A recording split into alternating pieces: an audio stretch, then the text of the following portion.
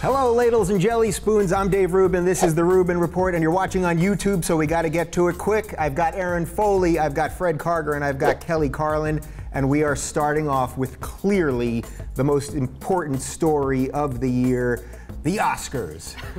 Let's get to it. General feelings to start. Erin, what do you Oh, it's think? the best show I think I've ever seen. oh wow! I have it on tape. I've watched it four times today. Uh, no, I thought it was a that was a stink bomb. Uh, good thing I was drunk. Um, no, uh, there was a there was a couple ones. Uh, I thought Seth maybe.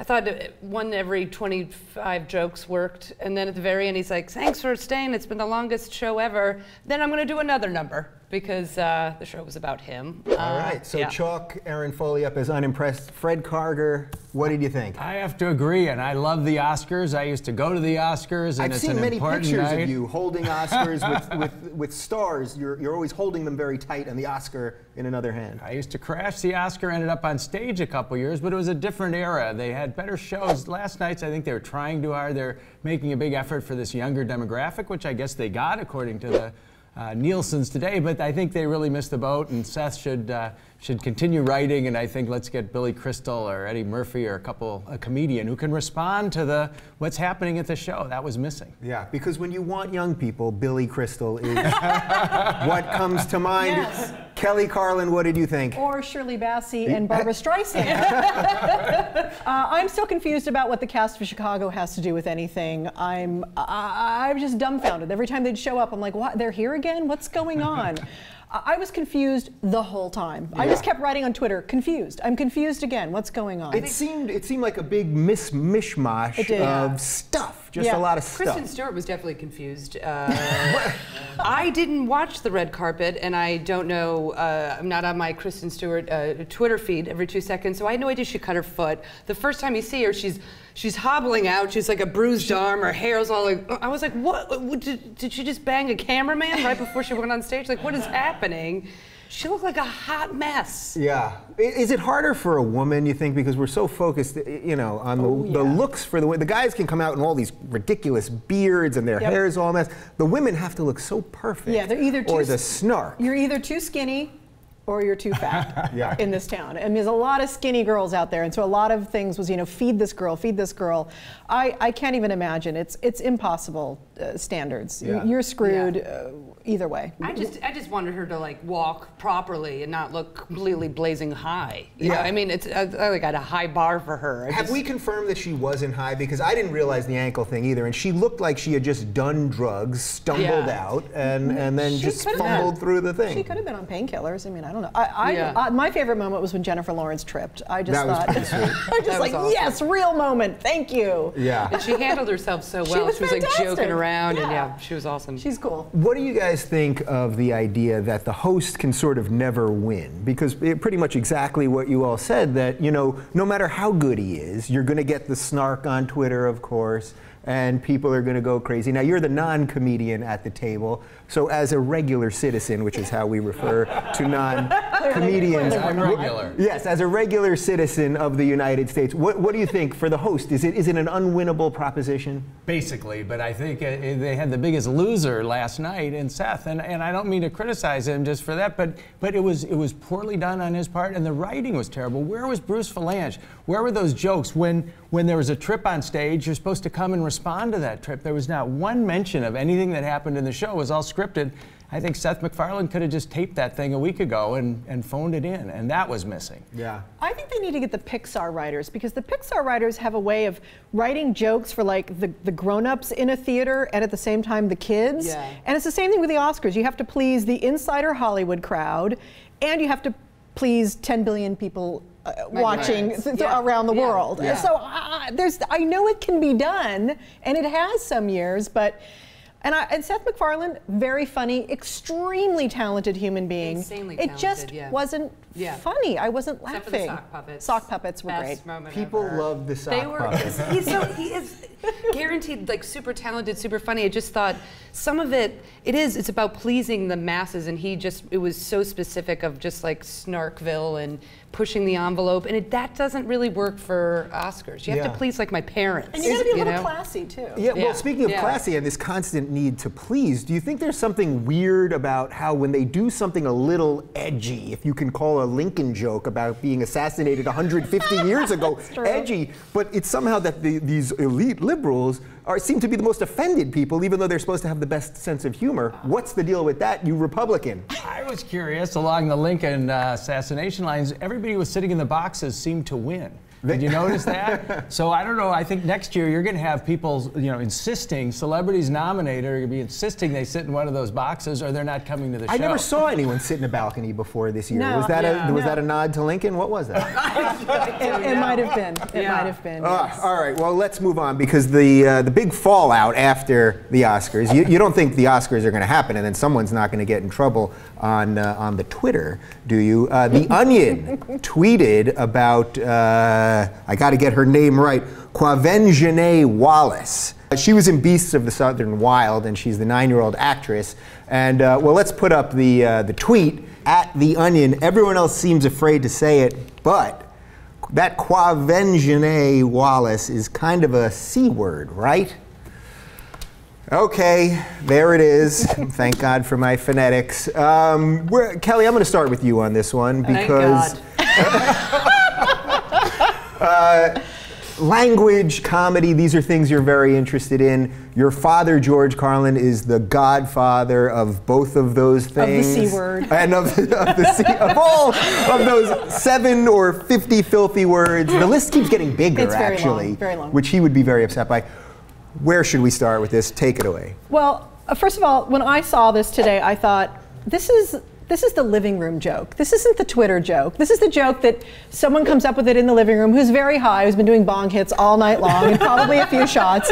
And they turn around and it's one of my more irreverent comedian friends. And they say it and we all laugh because we all know it's not true. It's not what it's about. It's about Hollywood. It's about you know, people are impossible, and clearly this girl's not impossible. But this is not something you tweet. Yeah.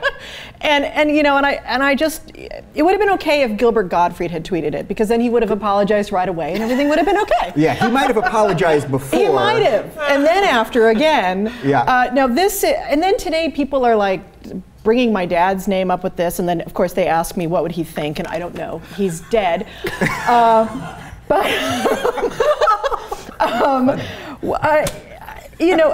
it- It's I don't know. I these days I just don't know anymore about jokes. I, it's all it's either too PC or we're too. Uh, I Whew, That's what I have to exactly. You ran out of words I because you did. didn't want to offend anybody. I Fred, can't. Fred, what do you what do you think about this? You know, it's um, it's a, a reference to child stars, and many of us have worked with them, um, but very obviously very inappropriate.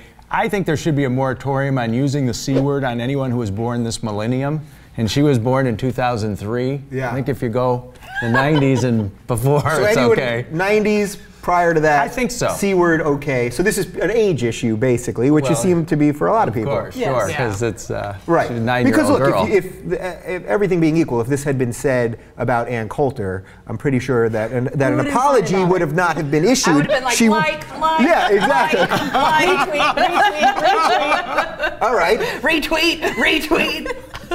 You can only retweet once. I'm pretty. I would, I would have kept retweeting. You would have started other Twitter accounts. I would have been like fake Erin Foley, retweet, fake Erin Foley too, retweet.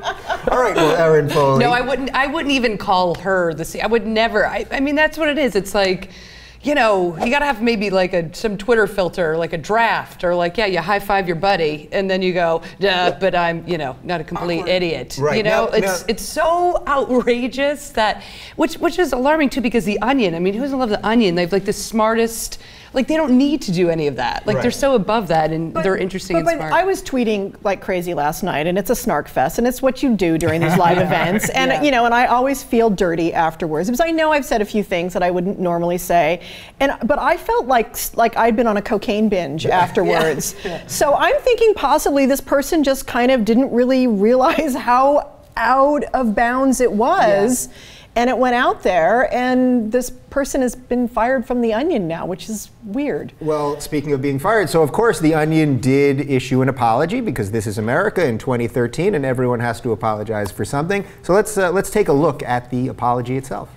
Dear readers, on behalf of The Onion, I offer my personal apology uh, to Qua, Qua, Quentin Tarantino. Quentin Tarantino Wallace and the Academy of Motion Picture Arts and Sciences for, for the tweet that was circulated last night during the Oscars. It was crude and offensive, not to mention inconsistent with The Onion's commitment to parody and satire, however biting. No person should ever be subjected to, such a, shame, a senseless, humorless comment masquerading as satire. The tweet was taken down within an hour of publication. We have instituted new and tighter Twitter procedures to ensure that this kind of mistake does not occur again, et cetera, et cetera. And this is from the Onion CEO, Steve Hannah. The interesting word here that I think we should focus on is the word mistake. Mm-hmm. Because if had the reaction been different, well, no one would have thought this was a mistake, and that's the fine line that comedians have to play on. How, how do you yeah. deal with that when you're when you're writing jokes and you're on stage? How do you deal with that? Um, well, I don't use the C, C word. Uh, I kind of reel that in. Yeah. So many times where I'm like, that would be the best punchline. and then I'm like, no, I got to rewrite that so I can still have a career. Uh, but yeah, I mean, honest to God, I think it, it, went too far. They apologized. For, in my book, I'm like, the guy, I don't, the guy or woman, I'm assuming it's a guy, yeah. doesn't need to be fired. It, yeah. It's so ridiculous. Like, all right, it was a bad call. You take it down, you apologize, you move on. Like, the fact that it's still going on, oh, that, you know, just wrap it up. Isn't you know that I mean? funny, though? We're all assuming that it's a man, right? Yeah, yeah. And yeah. Although, what if it was a woman? Because it could have been, because, you know, women have opinions yeah. about other women, yeah. and especially women who are, you know, considered bitchy and the c yeah. word. yeah. Um, you know, but uh, one thing I know that my dad did say about this is that the comedian's job is to find the edge and cross it. That is their job, and they did That's find an edge, and they and they crossed it last night. Okay, great. Now we know where that edge is. But then again going after a nine-year-old child, uh, yeah. uh, that's an that's an edge that I'm not quite sure also, you even you want to approach. You kind of like maybe throw like bitchy. I don't know, like uh, you know, snotty, pain. Like there, there's, you know, yeah. you could have tried the joke in another way yeah. as well. See, I think he's gonna have to apologize for that letter. He said tighter Twitter in there controls and tighter. Tighter, didn't he say that? That, that sounds, Steve it sounds like something sounds, that you might have to apologize. I think he's going to so. have to apologize for that beautiful yeah. letter of apology. Uh, apologizing for apologies. That's that's actually what's coming up next. All right, let's get off the Oscars for just a second. If we can move on to something slightly more serious, America's crumbling. Uh, the sequester. Have you guys heard about this thing? Basically, some budget cuts are going to kick are going to kick in. I'm, I'm not going to give you every little breakdown about it because uh, go somewhere else and find the serious stuff. But basically, some budget cuts are kicking in about 85 uh, billion dollars, and the Republicans are saying uh, it's going to gut the military. Democrats are saying we got to raise taxes to take care of it. It's the same old, same old fight that we're always in. My question to you guys is Is this just simply how politics now works? That we just get to crisis mode and then some sort of half assed resolution? Fred, what do you think? I came up with the adage about uh, 10 years ago that all politics is selfish. And it's based on what Tip O'Neill said when he was Speaker of the House, which was all politics is local. And that's what it is now. You have 535 members of the House and Senate who all they care about is the next election, period. And they're not getting along, they're not doing the kinds of things they need to do to solve the country's crisis. I'm all for this sequester, the budget cuts. Let's give it a try. I think government will adjust. They're doing all the scare tactics now that we've always heard in government doing. They did that in California when, with Proposition 13. I just think that we should try it and see what happens. Yeah. Erin, what do you think? Uh, can we deal with a world without government if they shut down? Mm. What would what would happen Gosh. to us? Uh, well, I'd probably be, you know, just go right through Downton Abbey, one, one at season one and two. Uh, so many. I, I have a lot of free time on my hands if the. Well, I wrote down a couple of things. I was thinking about this basic premise of like, why don't you this why don't you like everyone's like oh reach out to the people here's an idea like do you do party line versus constituents or i don't know what that word is Con- constituents the, the, the, voters the voters yes Quizani uh, Quizani Quentin Tarantino you know what I mean it's like the people don't want this. Like, I, wow, here, here's the thought. Why don't you go around and, and ask the people who you represent? But no one, no one cares about that. It's just like, yeah, party line, party line, party line. And the whole, I, I love I, these words are so funny. The sequestration, sequestration. Yes. Yeah, all I could think of was sequester and castration. That's all I could think of. But then I thought, if you sequestered all these people at the threat of castration, we would get things moving in about two hours. We'd they would just budget. be like, boom, budget. Absolutely. Done. Kelly, what do you think? Uh, you know, money, money, money, money, money. It's all about money. There's too much money in politics. And like you said, these people need to get reelected. And the campaign cycle never quits, never stops. So they're always raising money. This is about pleasing the people who really pay for these elections. And the citizens don't get any say in any of this. Mm-hmm. Yeah. And, and what I really feel this is all about ultimately is that the right and the left, uh, I mean, we're heading towards some sort of crazy civil war. I mean, I feel like this is the East. I feel like we now live in the East, and this is the Palestinians and the Israelis, and there's no coming together. There's no talking. There's there's no compromise, and I'm like, well, let's just, you know, let's get down to it, folks. You know, in a bizarre way, I think the analogy works because it's become like if you give one inch, yes. if you give one There's inch no of land, all you've shown is weakness. Yes. And that's so the antithesis, really, of what politics is. So I think this is going to be the question that every week on this show that I'm going to deal with here is we all talk about this. We all talk about the money and the gridlock and and the fine people at the Young Turks talk about it all the time. But what can we do besides all saying it? Now you ran for president of the United States for the Republicans. I wasn't allowed to announce that uh, until you were sitting here. Uh, otherwise, you don't, weren't going to get turn this thing off. Get past security. Uh, what do we do about this, really? Besides just saying that's the money all the time, what do we do? What do people do? We got to start getting along. And I fault Obama for that, and I said that in, in, my campaign, and I liked Obama, although I was a maxed out Hillary Clinton donor, so I kind of came around reluctantly. But he needs to, to be more of a politician with the Congress. He needs to go reach out to them. Reagan did that right when he was elected. But didn't brought he try that already? In. Didn't he try that his first he, uh, term? Not, not, he didn't invite Mitch McConnell to the White House for 18 months for just a one-on-one thing. And then somebody said to me, well, do you know Mitch McConnell? But, Would you ever want to sit need, with Mitch McConnell? Really? I mean, you, they, that's what you got to do. That's what that glad handing is. You can take a guy like Deval Patrick, who's the governor of Massachusetts. Yeah. who that man. he is great, and he's a politician who likes people and goes. You know, we've got an intellectual for president. He's a great speaker, but he's not a people person. Yeah. He's not comfortable groveling with all these well, send politicians. Joe Biden in. I mean, I feel like all we hear are stories of we're trying, we're trying, we're trying. Obama trying in the first four years, and now it seems like he won this, you know, and everyone's like, you only have now one year in your second term to jam down the entire agenda. So now it just, it just I think there's a very simple solution that is just to split up the United States. Very easy to do. Democrats take the coast, yeah. Republicans take the middle, and we're done. Why is we are done. What is it about so. Democrats that they like to live near water? Water in big cities. We're very uh, thirsty. Uh, very, yes, very thirsty. very thirsty. People. Very thirsty because we're help. We're trying to help everybody. Yeah. I always think it's maybe because Democrats want an easy escape in case the Republicans really do take over. Get Just their yachts and mm-hmm. get, get their yachts. Yes, my yacht is parked outside. Oh yes, oh, those Democrats with their yachts. All right. All right, let's keep talking politics for a little bit. Uh, and as much as I think the gridlock is going to be one of the things we talk about here, uh, this also, uh, the media, which has consistently failed us all, the way around every day. Uh, MSNBC uh, has hired Robert Gibbs, who was uh, President Obama's press secretary, and David Axelrod, who is his chief campaign officer. and they are now working as analysts on MSNBC.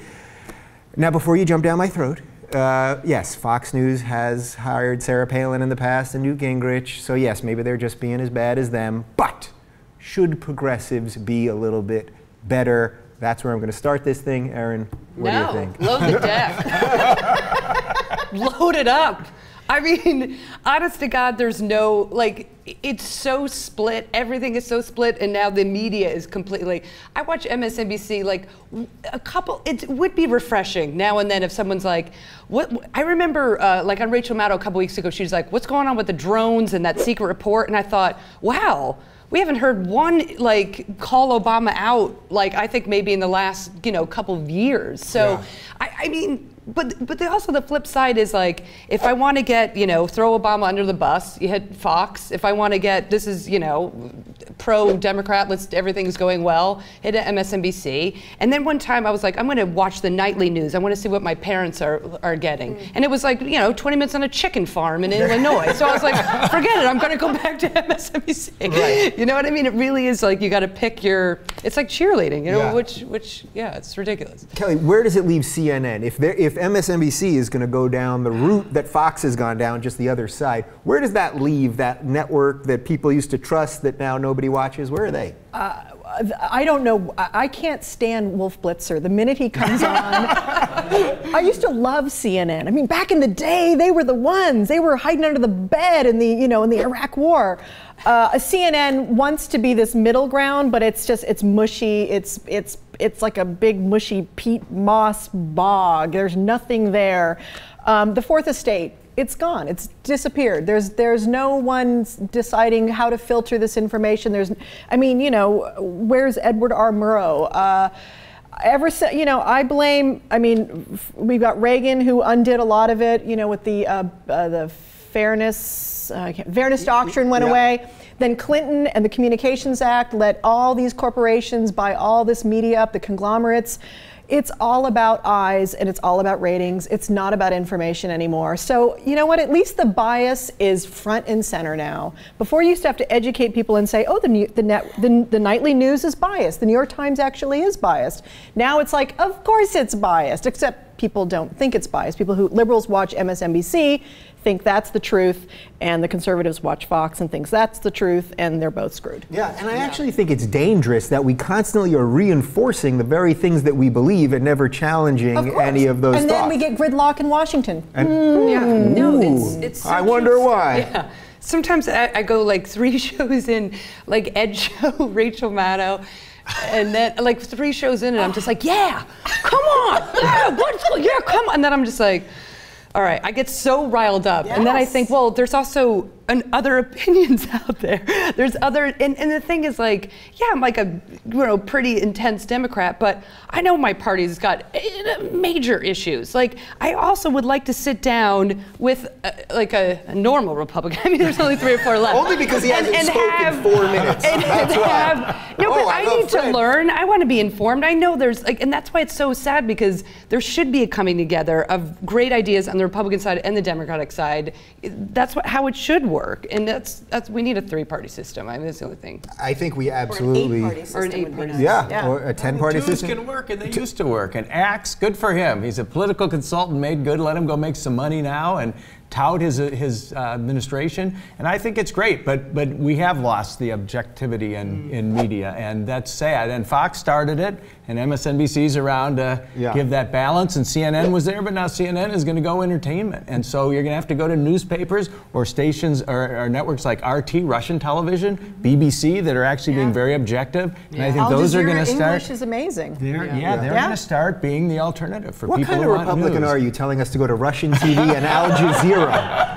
the greatest Republican ever. I was interviewed by David Frost on Al Jazeera. So yeah. I'm, a, I'm a loyal follower of that network, and they're, they're much more impartial than, yeah. than our networks yeah, are right. here. Yeah. Now, interestingly, you really suffered from this, uh, this partisan and corporate conglomerate news controlled everything because you polled at one point to get into one of the Fox News debates, and everybody was saying the entire election cycle, oh, we need a Republican who's socially moderate and more okay with abortion or gay rights, that kind of stuff, uh, but who's you know fiscally conservative and strong for defense, which was precisely what your platform was, and Fox News was still pushing you on the outside. So that just goes to show how partisan the, the news organizations well, yeah, and I think my, what I speculate is that Romney had something to do with that. I was very much uh, going after Romney, which is why I was on Rachel Maddow a lot, because I pointed out a lot of his shortcomings and a lot of contradictions, and, and Fox left me off. And I think the Romney campaign threatened that he would be not participating if that debate if I was there, because I was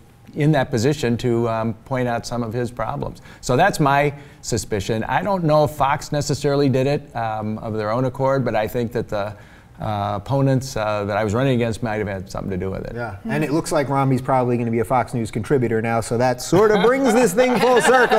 Okay, let's uh, let's move on. I think we have a bit of uh, good political news because that does happen every now and again. Uh, it looks like DOMA, the Defense of Marriage Act, uh, could be on the way out. Obviously, President Obama has done a lot of good stuff when it comes to uh, gay marriage and uh, marriage equality. That's what uh, we're told we should call it. Um, but because of the Fifth Amendment, which is equal protection under the law, they're now saying that DOMA is really indefensible and Obama is probably not going to defend it. All adds up. I have a feeling that this panel is pretty much okay with that. I'm super gay, and I am very excited. Uh, I would like to, you know, be a human and uh, have the right, have ba- basic rights. I loved it. I circled this one part uh, for the for the House brief. It said. Gays and lesbians are one of the most influential, best connected, best funded, and best organized interest groups in modern politics and have attained more legislative victories, political power, and popular favor in less time than virtually any other group in American history, the House brief says. And I'm like, yes. Uh, it was still no rights. yeah, so if we could just get that moving, uh, that would be fantastic. All of this is like, you know, pomp and circumstance. I'm like, how about, how about also some basic rights? Yeah, wasn't it some, someone last uh, election cycle said the gay the gay money is the new Hollywood money? That's what they uh, that's what they were saying. Wh- what do you think about this? We're, it, it's time, right? I mean, is there anything to even debate here? It's ridiculous. It's ridiculous that we are in the 21st century and we are discussing this. Uh, that uh, that uh, it's a basic civil rights issue, and yet we know was it Alabama just passed the 13th Amendment Yeah. last week? So you know, could be a while still. yeah, be Lincoln and this won't come out till tomorrow, so it could be flipped again. But uh, yeah, so uh, it's it, it, it, it astounds me that you know what it is. It's, there's a section of our society, our culture, that this white male established elite that really, really wants to keep it in 1952, wants the country to be there and stay there, and and that's when they were in charge and. It, things are moving on and it makes them nervous and so they're doing everything they can to, to, to slow it down and to, and, to, and to demonize every bit of the population that doesn't stand with them so it's um, So true. it is about time and i just i just hope hope it finally finally happens Yeah. Now, Fred, I know this is cause is obviously uh, dear and near to your heart, and you've been fighting this thing from the inside. So, give us a little sort of the insider steps of how you think this is now going to play out. Well, you know, this goes back to the 70s when we were getting beat up and they were trying to ban gay teachers in California and other states, and we've progressed to, to this unbelievable position where we are now at the United States Supreme Court, thanks to Chad Griffin and a few other tremendous leaders, with a lawsuit on, on two fronts. One, to try and um, overturn Proposition 8, which banned gay marriage in California. And now on DOMA, which is this was put in and signed by a Democratic president, Bill Clinton is, is completely, you know, now come out and opposed it, is going to be definitely turned down. As will the Supreme Court, I think, I'm, I'm positive actually, um, overturn Prop 8 and go along with that decision. We just won four states in November, which is unbelievable. And now, for the first time, the argument they used, the opponents used against same sex marriage was that the public is against it. Well, they're not now. In four states last November, they passed it. So I think that Proposition 8 will rule um, the overturning of Proposition 8, and we will just continue forward. And, and there's cases moving forward which will make marriage equality the law of the land. And what a message that sends to younger people who struggle. I had a terrible time growing up gay. Yeah. It was just, I, I had no self esteem. I was embarrassed. I was.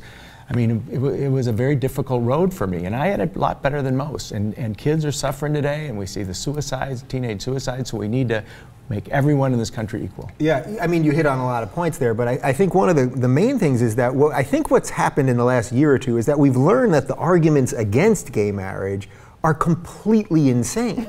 You know what I mean? They always say, well, you're going to destroy traditional marriage. I don't think that there's one study that has proven where you've brought in gay people to be allowed to be as regular and boring as straight people that suddenly straight marriages are crumbling, or that they said if you get rid of don't ask, don't tell, the military is going to suffer. It's been over a year now. I don't think there's been one instance, and I'm, if I'm wrong, please correct me, that uh, don't ask, don't tell being flipped has done anything. You know, my So- favorite critic of this was the Pope. Yeah. who was not there for long, but he said He uh, on the eve of the Spanish vote, when they voted to uh, allow same-sex marriage, he said that, that gay marriage was insidious and dangerous. And this was three years ago, in the height of the priest abuse scandal. I'm thinking, what about that? Yeah. Why doesn't he take on that issue instead of attacking poor people who are innocent and just want to be happy and, and marry the person that they love? And divorce rate is what, like 56%? Like they're doing it so Yeah, well, so I can't. Like real what is? great. Yeah, what's- doing well. It's it's completely it's completely insane. I have to say though, on a positive note, I do so much traveling for stand up. I mean, to like parts of the country where you're like, oh God, how's this gonna go? No one blinks. No one has a problem with it. When I start talking about politics, there's a problem. But th- wh- when I literally talk about like gay marriage and, I- and I start my like gay marriage joke, it's like people are clapping, like rural counties, like across the country. So it's been super positive, and I think, and the Supreme Court historically has never really taken on such big social issues unless w- until like the tide has turned. They did that with uh, you know interracial marriage, and so.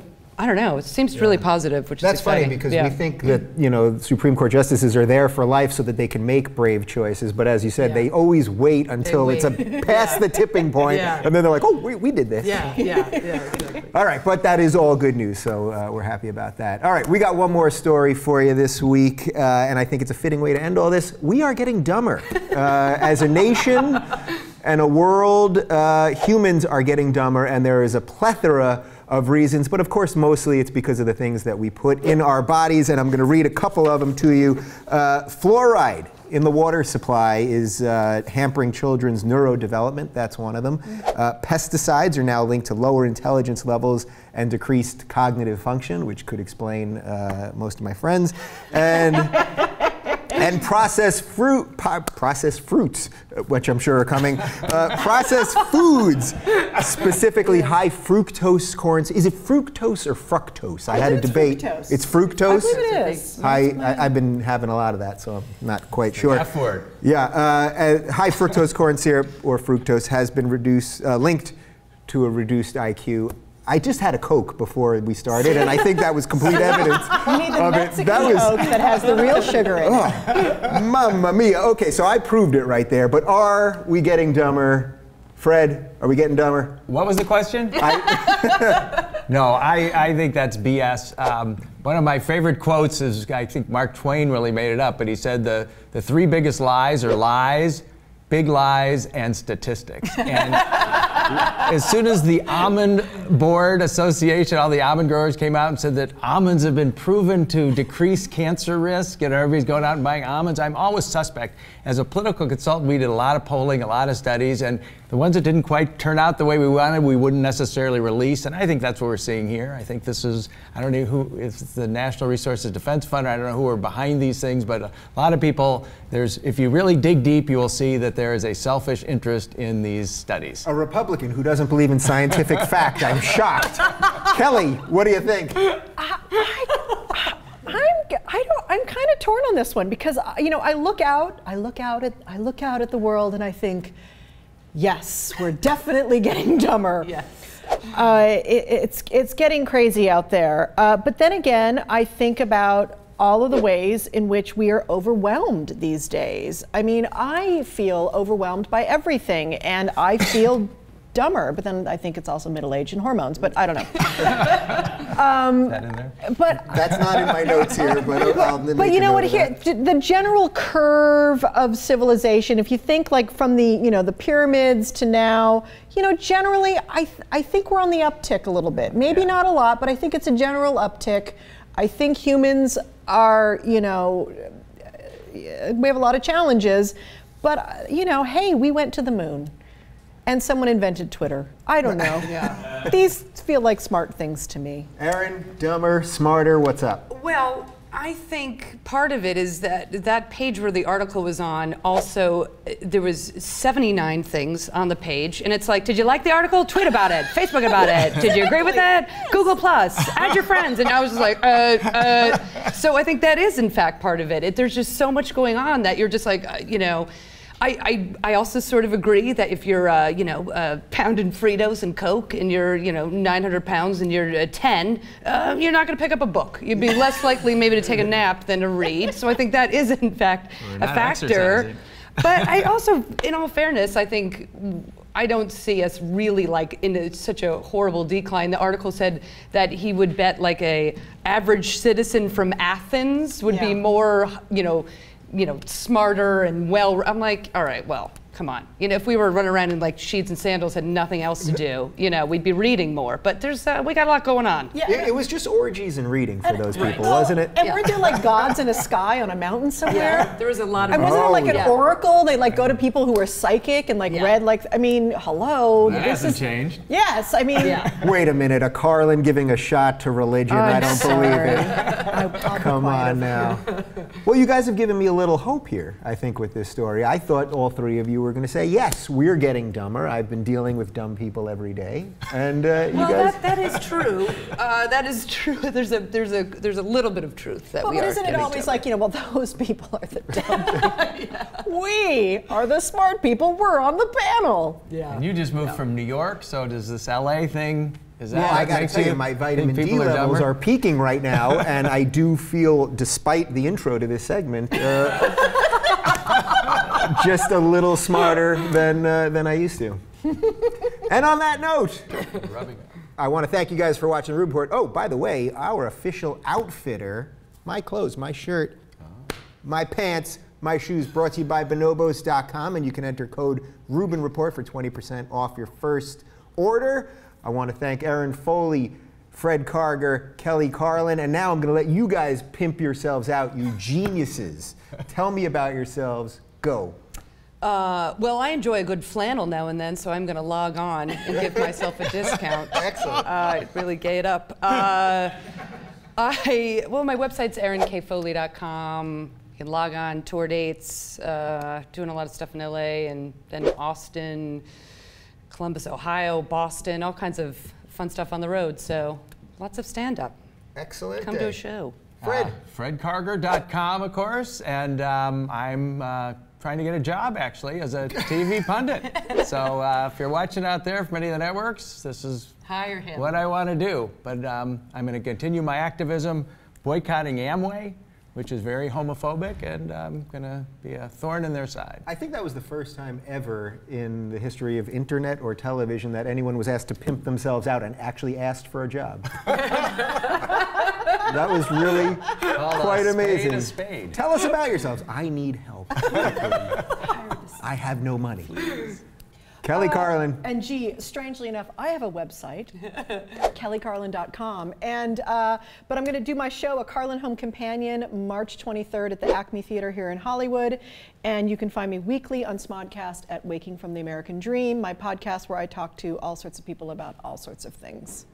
All right, and I'm Dave Rubin, and if you're watching this, then you found me already, so we're good to go. I thank you for watching, and we'll see you next week.